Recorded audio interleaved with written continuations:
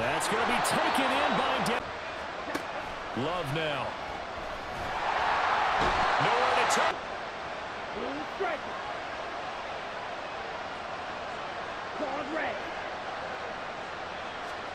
Glove. Oh, everything falling apart now. Another one intercepted. And the Jets are going to get the football back.